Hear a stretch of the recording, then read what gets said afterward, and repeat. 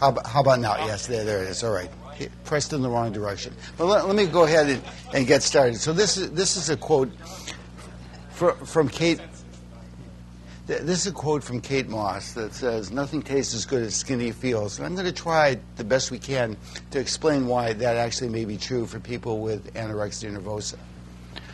So, uh, you, you may be interested in this recent editorial in the European Eating Disorder Review uh, by uh, Schmidt and Campbell that you know, raised the question about uh, treatment of eating disorders cannot remain brainless. And uh, I'm going to talk about that today, how we can really use neurobiology to really kind of inform us about what's going on in the brain of people with eating disorders and how, more importantly, we can actually use that in developing treatments. So, in this limited time, I'm going to spend a little bit of time just kind of talking about brain and behavior, give you kind of an overview, uh, talk about the biology of reward and risk, and then talk about what we're doing in terms of developing tem- temperament based treatments. So just before I get started, I just want to thank uh, many of the collaborators I work with at San Diego and Pittsburgh in developing the, uh, the data uh, that I'm going to show you today. Um, so the question in anorexia is really very straightforward. Uh, let me talk about obesity first. Now, th- this is a study that looked at various uh, treatments of obesity, behavioral treatment, and dieting, or the combination, and found that as we see in obesity, people do lose weight in the short term. But in the long term, if you look over five years, the recidivism rate is very high in obesity. And clearly, you know, people in general have a hard time dieting. And one thing that's very different about anorexia is that this is a group of people that can literally starve themselves to death. Now, I challenge anybody in this room that's never had an eating disorder to eat 500 calories a day for the next 10 years. You literally can't do it.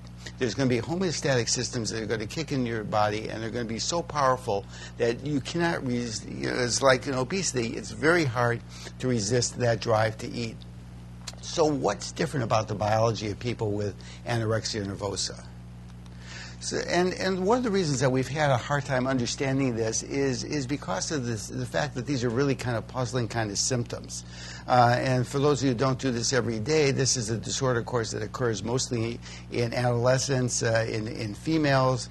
Um, it uh, not only is there severely restricted eating and, and emaciation, but these are people that have uh, body image distortions and fear of becoming fat. Although not everybody has exactly those symptoms. Uh, despite dieting, they uh, tend to be preoccupied with food, cook for others, collect calorie uh, recipes. Uh, and the thing that really makes it so hard to treat is that we're not on the same team. As opposed to most people with psychiatric disorders that come in and say, I feel lousy, help me feel better. This is a group of people that don't see themselves as having a problem and a resistance to treatment and makes it so hard to engage them. And, and also, we really don't have any proven treatments that reverse core eating disorder symptoms, uh, particularly in anorexia nervosa. And, and um, the good news is that over the course of time, and it can be five to ten years, uh, 50% or more will recover, but there's still a substantial number that remain either chronically ill or, as Scott's data is so elegantly shown, uh, there's a substantial portion that die. So these are disorders where people tend to, the, the common notion is these are psychosocially derived disorders. And clearly, body image and, you know, diet is important to all of us. And it's, you know, there's a lot of uh, public, you know, a lot of, um, you know, people, us and everything like that, publish a lot about celebrities, blah, blah, blah, and things like that.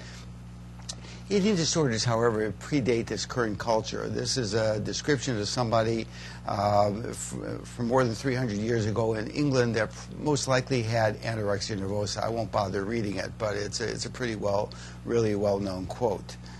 Um, so many women died in this culture, but you know, relatively few people develop anorexia and bulimia. You know, a few percent. Do you think that it was just this is just culture, that the rates of anorexia and bulimia would be much higher? And so the question is, are there some susceptibility factors that make people vulnerable to dieting and weight loss? And in fact, uh, just a very brief review of the literature. Um, these are studies. First of all, one of the things that we've learned that eating disorders run in families. If you have anorexia or bulimia, you have a much higher chance of having a relative who's had an eating disorder. Uh, and of course, this doesn't really tell you whether it's learned or, or, uh, or, genes, but twin studies over and over again have shown that somewhere between 50 to 80 percent of the contributing factors are genetic, are not, uh, are, are, not, are not culture. So genes are really more powerful than culture in terms of a vulnerability to develop an eating disorder. And what do genes do? Well, you know, that, of course, we don't really understand.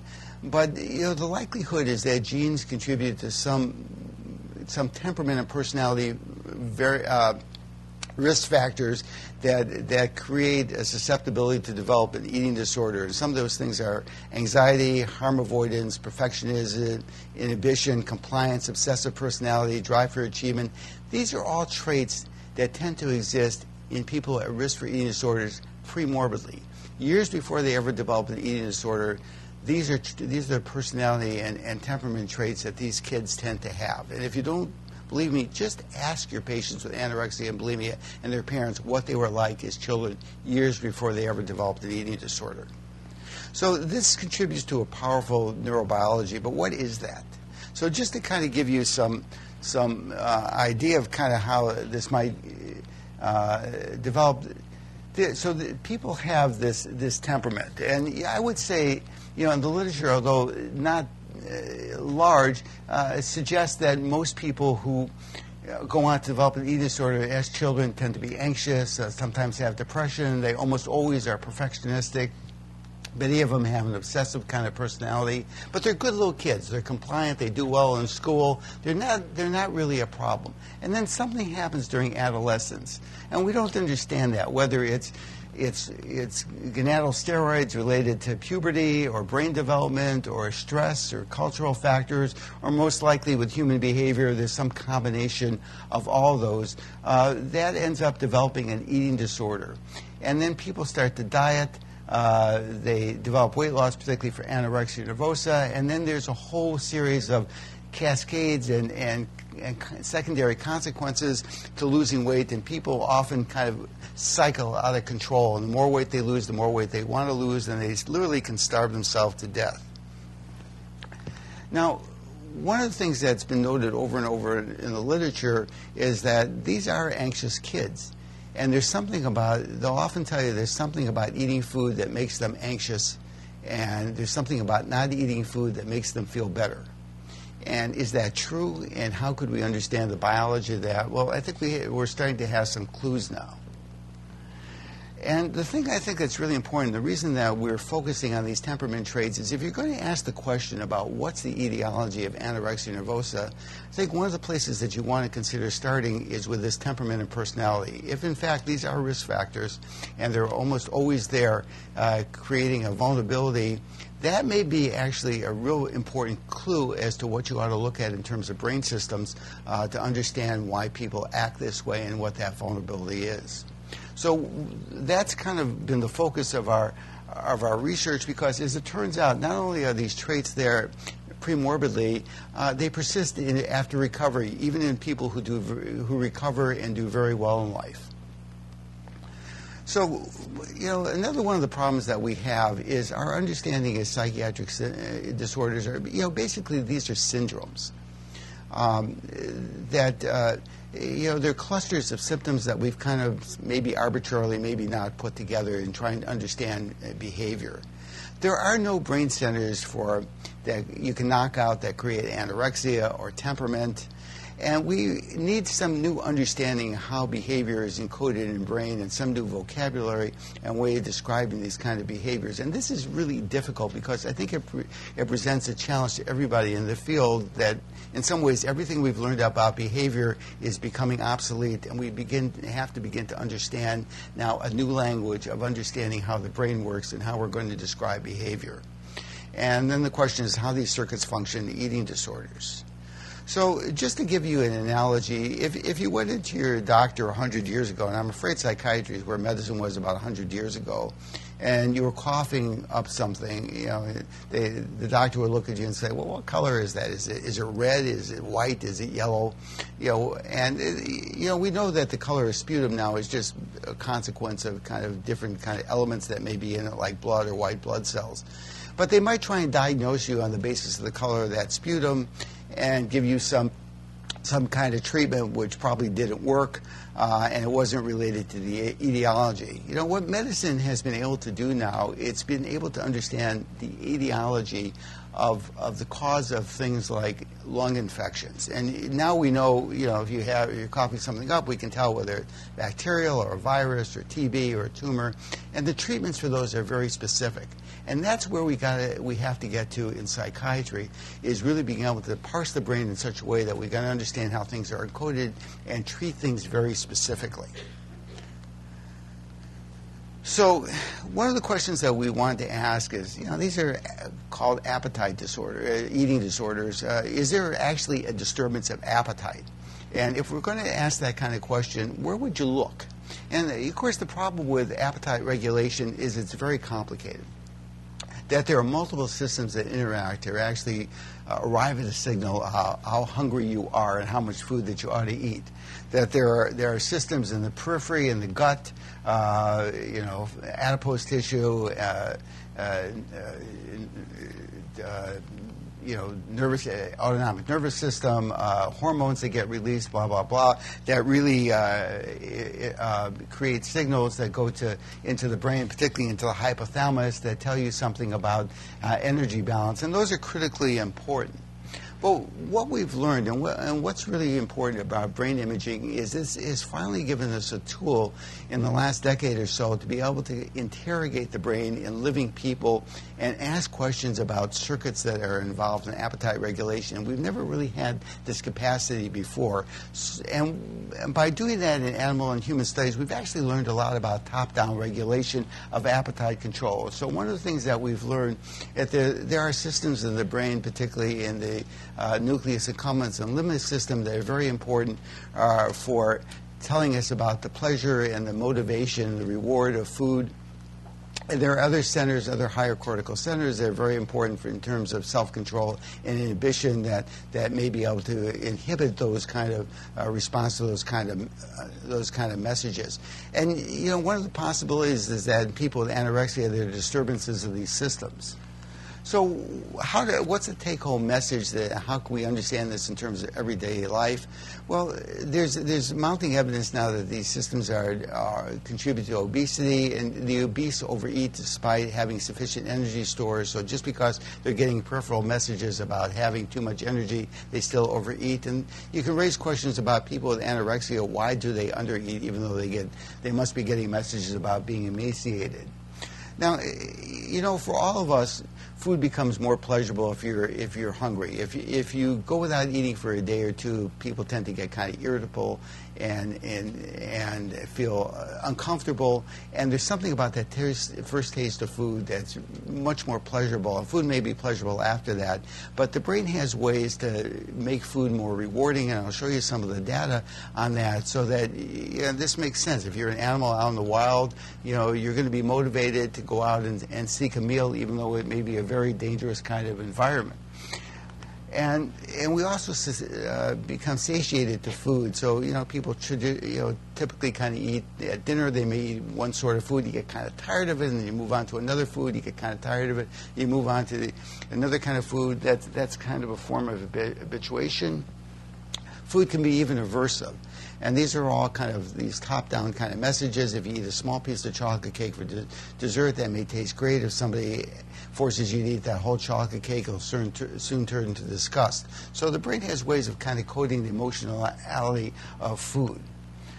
So one of the areas that we wanted to look at was the insula, and um, and the reason that we wanted to look at the insula was the insula is, and these connected regions play a very important role in what we call interoceptive awareness, which is self-awareness of of our internal body states.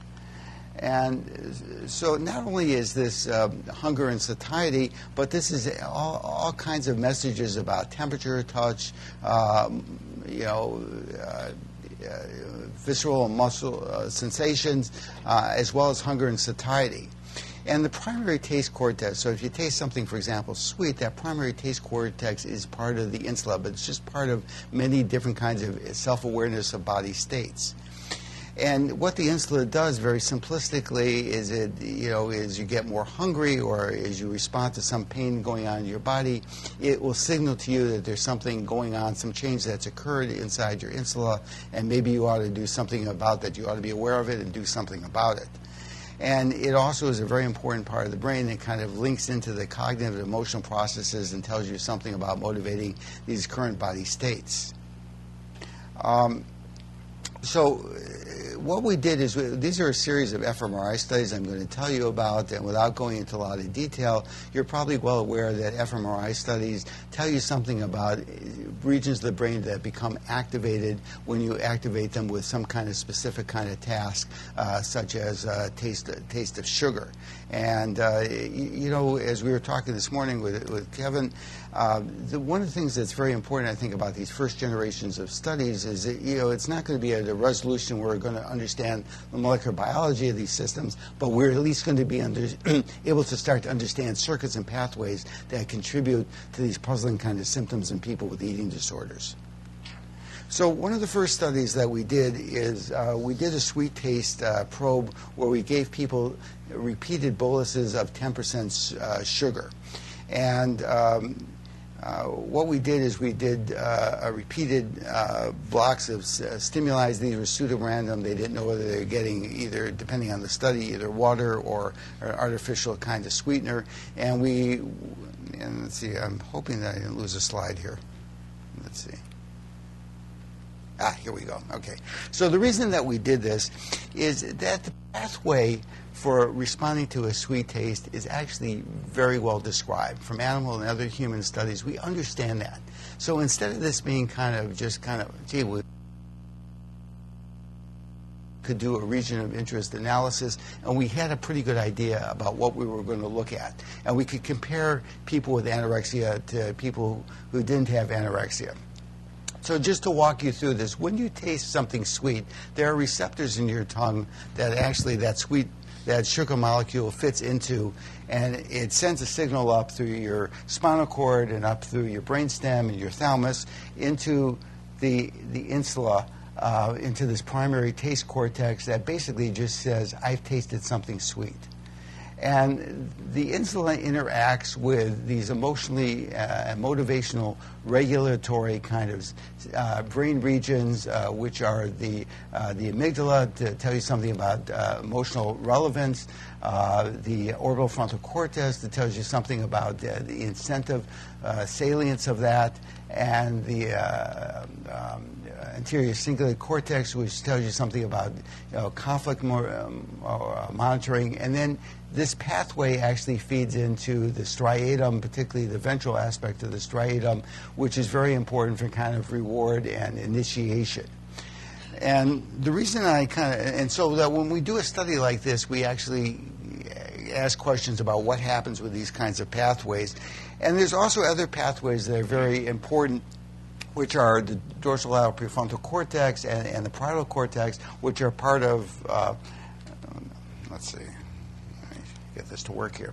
So the, the pathways here um, that I've just talked about are part of the limbic system, and these other part, and this is very important for kind of immediate kind of emotional relevance. And the other pathways I'm identifying here are part of the executive or cognitive system, which are more important for kind of long-term kind of cognitive and inhibitory kind of response. And I'm going to kind of come back to that and why that's that's important but the, the, so responding to a sweet taste just really kind of activates parts of the brain that are very important for kind of responding to any kind of salient stimuli. And the other thing that we did here is we looked at people after they recovered from anorexia. And the reason that we did that is that if you know, when you're really emaciated, underweight, we would expect to all kind, find all kinds of abnormalities just because people are, are starved. And so we want to, and so we want to ask the question about does this persist after recovery? So we looked at people, we looked at people who had recovered from who had recovered from anorexia nervosa and compared to controls. These are people in their 20s, normal body weight. And just as I mentioned before, even though people recover from anorexia, they tend to have certain temperament and personality traits, such as high harm avoidance, which is a measure kind of a combination of anxiety and inhibition and inflexibility. So that remains, that remains uh, abnormally high. Uh, and these are people who, as far as by our definition, had recovered. They were normal weight, normal nutrition and menses, and uh, not on medication. And there's been a number of studies that have suggested as you become uh, hungry, as you're starved, that there's increased activity of the insula as well as the orbital frontal cortex. That's a response to this. That's part of uh, uh, this kind of uh, reflecting this gross message that I'm getting hungry, do something about it.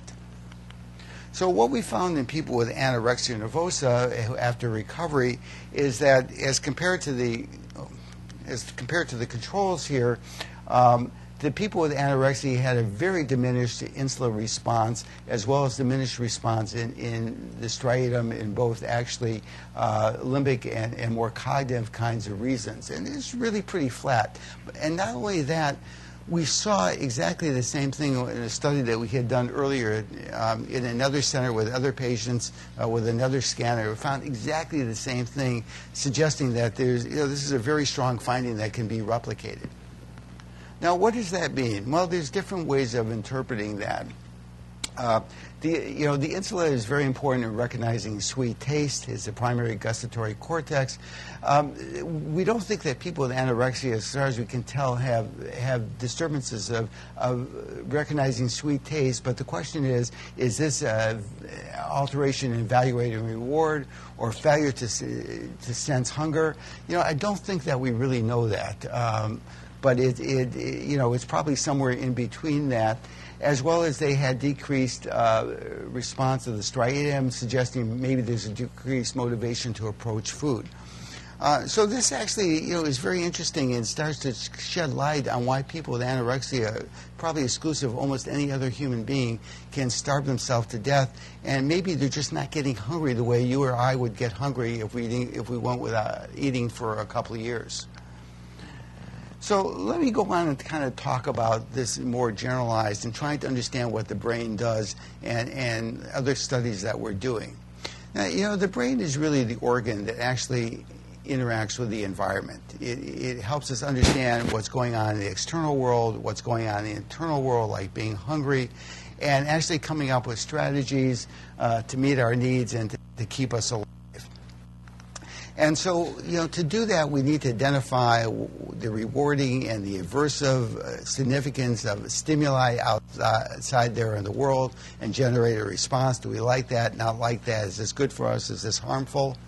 We have to weigh that also the, sh- the short and the long term pros and cons of any kind of response. We might want to respond immediately, but realize on the long term, you know, that might be a dumb thing to do.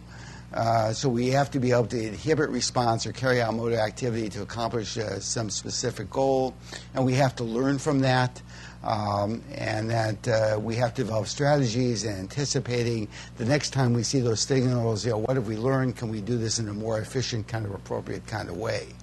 And you know, if you're an animal, uh, you, you, know, if you the more appropriately and accurately you respond, you know, probably the better chance that you're going to stay alive. If you're kind of a schizophrenic animal, you're probably going to get eaten. You know, you're just not doing things very appropriately. Uh, you're probably not going to sense danger or something like that. and You're going to be out of the gene pool. So, and it really uses these same kind of pathways I've just talked about in terms of limbic and, and higher and, and, executive kind of function. And just to kind of spell this out in kind of a, a schema for you, uh, the limbic system here, uh, these are cortical striatal loops that are very important for processing these kind of strategies. Uh, uh, the limbic, there's, uh, there's thought, there's thought to be three or more, depending on kind of what definition you're going to use of limbic striatal loops. And very simply, what they do is the limbic system is very important for kind of understanding the emotional significance of stimuli, uh, kind of here and now. Um, and the cognitive or associative or executive, you know, one of the complications is we name the same system many different kinds of ways, um, is more important for kind of effortful regulation of these affective states, kind of what might happen next, and plans and consequences in inhibiting behavior. And then you kind of put those two together and you carry out some kind of motor activity here, and you either approach and you avoid those kind of stimuli. So these are loops that kind of dip down between the striatum and, and the thalamus and up to the cortex.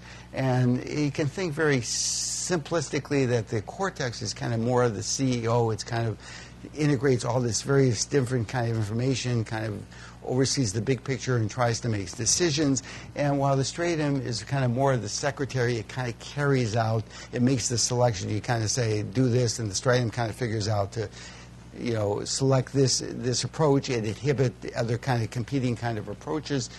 And and um, the dopamine system is very important. Uh, reward signal is probably kind of really oversimplistic. The dopamine system probably is very important for kind of learning and kind of initiating and maybe even suppressing uh, various kinds of, of, choices in the in the uh, in the striatum. Um,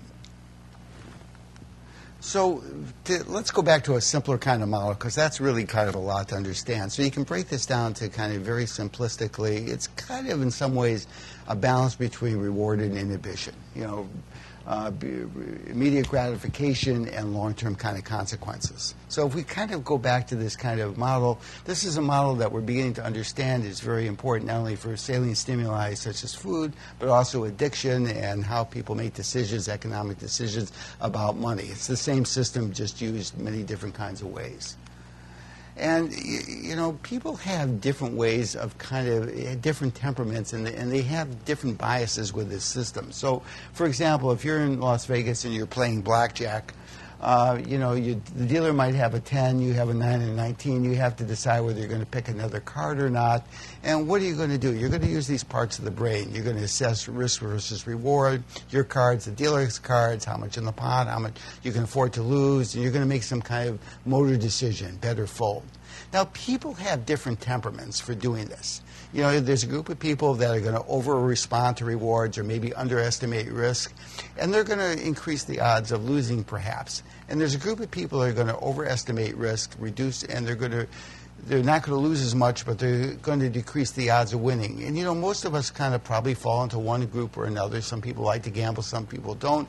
If you have an extreme of this, you probably end up with pathologic gambling uh, and uh, and losing a lot of money. But this is a, this is probably a lifelong temperament, and it gets wired into our brains in different kinds of ways. Now, what's different about people with anorexia? Well, you know, the things that appeal to most teenagers, uh, food, drugs, sex, and rock and roll, are not things that really appeal to adolescents with anorexia. This is a group of people that really have uh, immediate gratification it really isn't very important. This is a group of people that really worries about consequences uh, and and can inhibit their behavior and are very concerned about about self-control. And actually, there's a fair amount of data out there, and I'll just give you some examples of supporting this. It's been well known that people with anorexia, especially when they're malnourished, are pretty anhedonic. There's nothing more important to them like Kate Moss just says in a way than, than starvation, uh, uh, not eating, and they're, they're actually insensitive to reward. And I'll talk a little bit more about that. And then the other side of this, um, this is a group of people. There's a, there's a there's a task that you can use called delayed discounting that actually asks people to choose between a smaller immediate reward and a larger delayed reward. Most people want it now, even if it's less. People with anorexia are one of the few, maybe the only population group that actually prefers, you know, larger rewards later. Um, they're harm avoidant. They're sensitive to punishment, and um, see, I think there was so that yeah. So let me tell you, let me just summarize some of the imaging results we and others have found that actually kind of support that there's this imbalance. Uh, if you look in, in the limbic system, the anterior ventral striatum, which is the area of the nucleus accumbens and very important for kind of reward, uh, we and others have found that there are abnormalities in dopamine metabolism in people with with anorexia, particularly in that part of the brain. And actually, if you do tasks where you ask people with anorexia to distinguish between winning and losing, where in controls, you see controls respond in that part of the brain much more strongly to reward, to winning than to losing. People with anorexia actually respond pretty much the same to winning and losing. It's like they can't tell the difference in terms of emotional immediate immediate response, in terms of immediate kind of uh, in, in part of the limbic system. In terms of the, this other area of the brain, uh, the executive or, or, cognitive or associative system that worries about plans and consequences. Several studies have shown that these are people that over respond to making choices. And uh, we have found over and over again that the more anxious or harm avoidance they are, the more activity they have in the circuit and respond to uh, things like responding to, to uh, monetary choices. And uh, I'm going to show you a little data suggesting that they have increased sensitivity to punishment uh, and to loss in this part of the brain. So the bottom line is that there's evidence suggesting, in fact, neurologically, that there may be, you know, some some disturbance of of uh, some alteration in terms of kind of uh, immediate gratification and kind of worrying about long-term kind of consequences. So. Now, interestingly enough, there's animal studies, not a great deal of literature, but there's animal studies that actually suggest that if you're a risk avoidant rat, you have overactivity of of, of this dorsal caudate part of the brain, the part of the brain that worries about consequences, and that if you're a human being that actually has a reduced inhibition, you have diminished activity, diminished dopamine kind of uh, uh, responsivity in that part of the brain that's very important for kind of uh, inhibition or, or not inhibiting kind of behavior. So there's some animal literature that actually supports that this might be true. So one of the studies we did was a monetary choice task where we asked people with anorexia to actually uh, just lay in the scanner and we showed them a, a, a, a number and then uh, we, we uh, actually we yeah, yeah, we showed them a question mark, and then we asked them to make a guess about the number they saw, whether it was going to be uh, more or less than was five or eight. Anyway, if they guessed correctly, they won two dollars. If they guessed incorrectly, they lost a dollar. If they didn't guess, they lost uh, they lost fifty cents. And um, this was kind of predetermined. Everybody got the same kind of, uh, you know, the same task, but the, the nobody knew that, of course. And people actually ended up winning about forty, uh, about uh, forty dollars. And in this this study, particularly, we looked at people who were ill and underweight with anorexia nervosa. And the remarkable finding about it that we found is that if you look at the controls, just as I mentioned before, in, in, and this is in this executive cognitive reason, people with controls respond much more strongly to winning than to losing uh, money. And the thing that we found that was abnormal about people with anorexia is they actually respond uh, more strongly to, to punishment, to losing, than they did to winning uh, suggesting that they're over. This goes along with the clinical kind of uh, data suggesting this is a group of people that's very uh, oversensitive to punishment. Now, clinically, the way people with anorexia often feel like they've done things wrong, they're making mistakes whatever they do isn't right, it isn't perfect enough, you know, and that they're very sensitive to criticism uh, or they have poor self-esteem. And part of this may be that they have this oversensitivity to feeling that they kind of make mistakes all the time. That whatever they do just doesn't feel like it's right, like it's like an error. And this may be actually the uh, neurobiologic kind of, uh, you know, uh, reflection uh, uh, you know, substrate kind of underlying this kinds of, of behavior. The other thing that we found, and we've been able to replicate over and over again, uh, at least in four or five different studies now, is in this part of the brain, in terms of the dorsal caudate, and that's very important with consequences. The more anxious with people uh, with anorexia are, the more they respond in that part of the brain. And this goes along with actually being very sensitive to punishment. And whether it's the anxiety driving, you know, the sensitivity to punishment or the punishment making them very anxious, I, or, or you just, that isn't really the right way to think about it in terms of how behavior is encoded in the brain, I don't know. But this actually, you know, again suggests that we're beginning to understand why people with anorexia are, are very anxious and where that lies. Now, how does this relate to, um, to eating and emotion? Well, as I mentioned before, for most of us, eating is rewarding and not eating feels bad. But for people with anorexia, there's something about eating that makes them very anxious. So we, we did a study that was kind of a proof of, of, of concept here, and that is that we gave people with anorexia a one-time dose of, a large dose of amphetamine. Now, the reason that we did that, amphetamine releases a lot of dopamine. And we really wanted to ask a question about what happens in these parts of the brain to people with anorexia. So we know that, and we did the, uh, PET imaging kind of studies. I won't go into the details, but just to tell you, we were able to measure just how much endogenous dopamine was released. We've known for a long time that if you're a healthy control, most of the time people, you give people a large dose of amphetamine, they feel euphoric. And there's a substantial amount of data that suggests that in the, in the limbic system here, uh, where the, the codes rewards an emotion, that you see a very nice correlation. The more dopamine that's released, the more euphoric people get uh, that are healthy controls.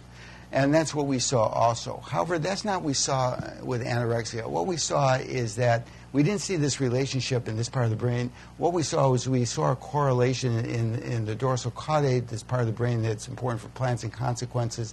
The more dopamine released, the more anxious they were. Um, now that's very interesting because you release a little bit of dopamine as you eat food or you anticipate food, and that's part of the signaling that tells you something about the rewarding aspects of food.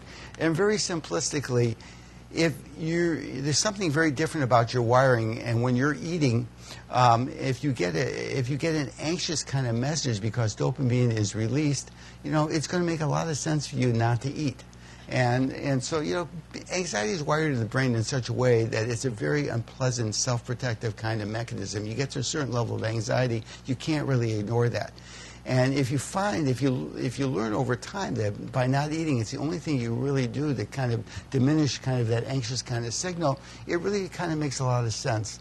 Um, and actually, we're, we're using a fair amount of neuroleptics now to, to actually try and block uh, you know, the D2 receptor and actually treat people with anorexia, I would say that there's a minority of people that have a good response. Most people don't really uh, respond in the way that you want them to, but that also says something about kind of the complexity of biology. But actually, you know, if you target that symptom, actually, you know, which we haven't done very well, uh, you know, that may be actually the key for things like. Uh, uh, uh, you know, uh, uh, and Zyprexa for working in, the, in, in these disorders and driving appetite.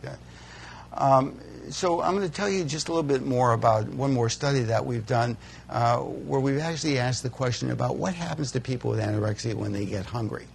Now, when you get hungry, um, you know, hunger, as I've mentioned before, hunger increases the motivational aspect of stimuli, and it activates these regions in the brain that's very important for uh, uh, reward or reduces top-down cognitive inhibitory control.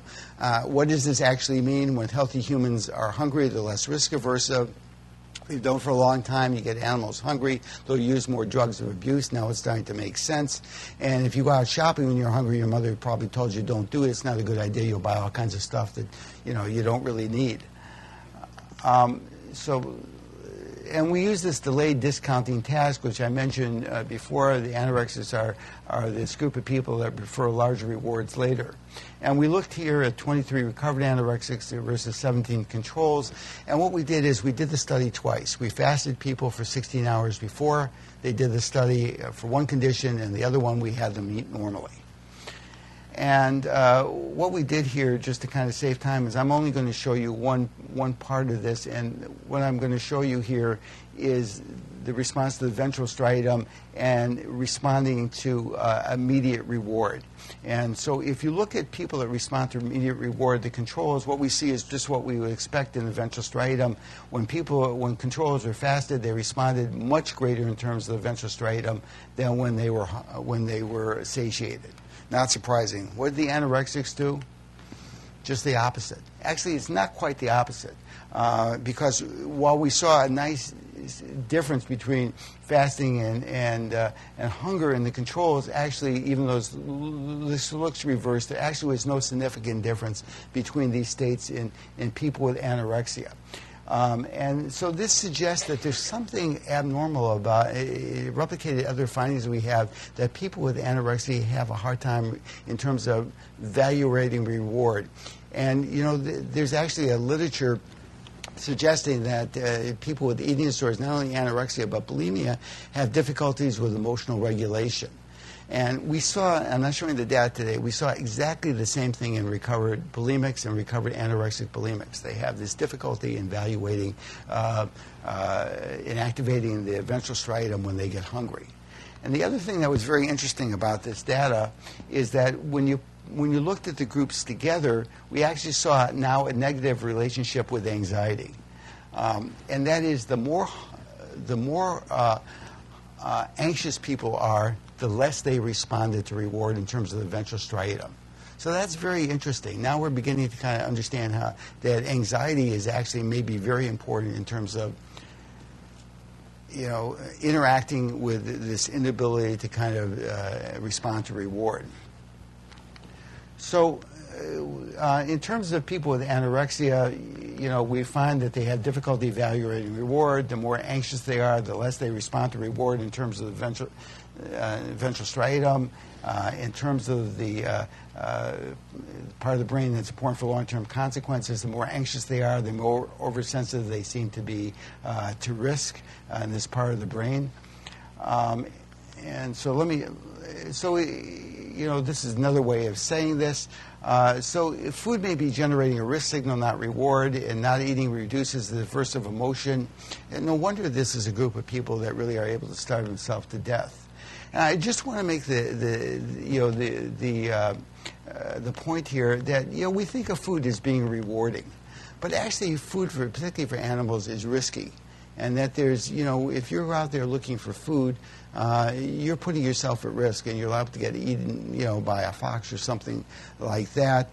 Uh, and if you are, if you're an animal that actually overestimates reward and fails to consider risk, you're actually probably going to get eaten by a fox. You're going to be out of the gene pool. So there's something to be said for being able to overestimate risk. And you know, you can go if you're an animal, you can go without eating a couple of meals in a risky situation, but you're going to stay alive and, and pass on these genes. And so I think one of the things that we've failed to really kind of uh, recognize is that people with anorexia may actually have a temperament to be risk avoidant, and that may be wired into our brain as part of uh, as part of the normal phenomena of kind of uh, uh, responding to, to food and feeding.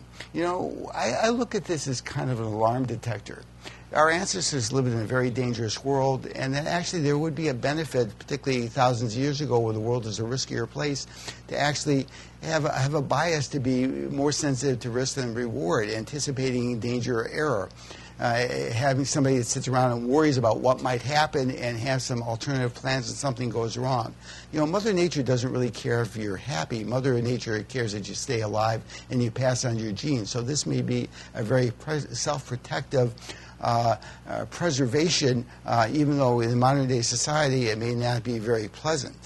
And you know, one of the things and points I want to make that's very important, we study a lot of people who recover from anorexia the traits that get people into trouble with anorexia, they often turn to actually const- uh, very constructive kind of benefits after they recover. People with anorexia tend to do really very well in life, particularly in certain professions that reward uh, paying attention to detail, achievement orientation, uh, things like engineering and medicine and research. I tell people all the time, I've never had an eating disorder, but I'm kind of you know, obsessive and perfectionistic. And I can tell you, you're not going to make it as a researcher unless you're kind of obsessive and perfectionistic. Those are certain beneficial kind of traits.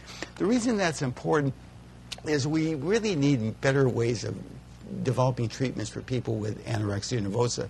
And we're starting to try and use this, this understanding of temperaments now to develop better kind of constructive strategies. So, you know, our, it's really, you can't change temperament. Uh, we, we do a lot to kind of do psychoeducational kind of training and sit down with patients and talk about, you know, this phenomena. I can tell you for the patients, it's really pretty meaningless. And doesn't make them feel better. Uh, there's certain structured uh, uh, treatments that work with families in alliance. Uh, it's called Maudsley or family-based treatment that actually has been shown to be successful in about half of uh, adolescent anorexics. that actually help to structure the environment of people with anorexia. I think that's very important, but it doesn't reverse the kind of symptoms. We don't really have any way of modifying these behaviors. There aren't any medications that have been proven to work. Um, and uh, or, or, work very well. And so, you know, what are we stuck with? Well, we're stuck with trying to understand how people get better, how they use these strategies and temperament in, in more constructive kind of ways, and can we use that in terms of developing better treatments?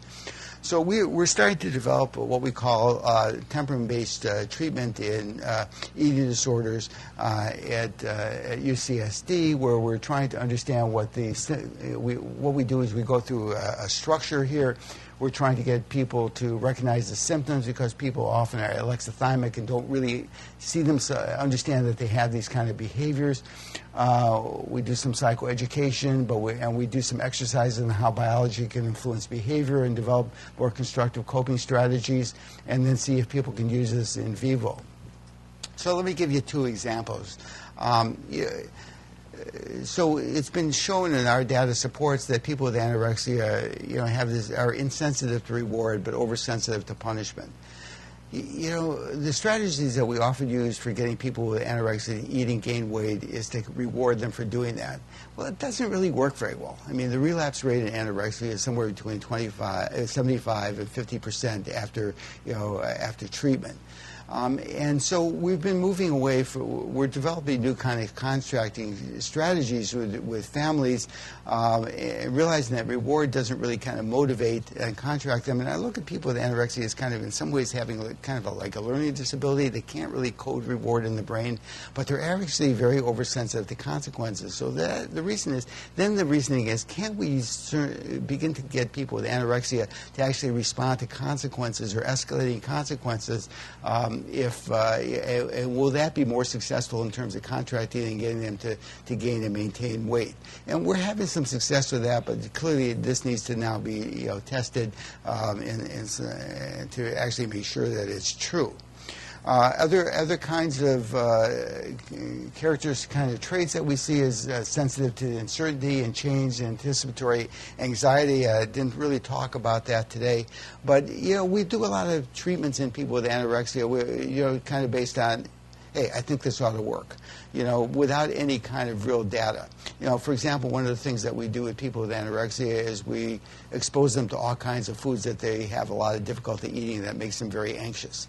And we've all thought that, yeah, that's really a good thing to do. We'll teach them how to eat. Well, you know, there may be something about, uh, you know, all these different kinds of foods that makes them uh, the change and the uncertainty around it that makes them very anxious. And so we're moving to a strategy now of trying out, you know, let's give people with anorexia basically the same foods every day. That's what they often do when they recover. They eat the same foods every day. You can you can increase the amount. That may be easier for them to tolerate. Uh, maybe that's not ideal, but you know, if you're trying to get them to gain and maintain weight, that's not such a bad strategy. So I just want to mention uh, in finishing that we're uh, uh, we're continuing to do these imaging studies, and uh, uh, we'd be delighted to you know also talk with you about some collaborative kinds of work, uh, like Chuck and I talked about today. And, um, and but we're still looking for, for people. So if you've recovered from eating disorder and want a nice a free trip to San Diego and get paid for imaging studies, especially during the middle of winter, so please, yeah, 10 March, yes, give us a call. Uh, so that's it. So thanks very much.